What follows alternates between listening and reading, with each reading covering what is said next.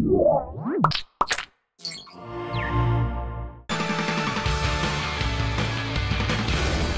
Hey everyone, welcome to Tekzilla Daily. I'm Veronica Belmont. If you're a pilot, work on board a ship, or serve in the military, you probably live under a 24-hour clock. Unfortunately, Windows doesn't put the option for turning the clock from the standard 12-hour time into a 24-hour clock in an easy-to-find place. Common sense would tell you to go through date and time, right? Well, nope.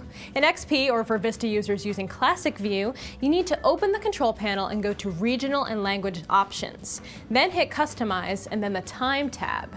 Now, in the time format field, replace the lowercase h with an uppercase h, or HH if you want a leading zero. For the rest of you Vista users, go to the control panel and select Clock, Language, and Region.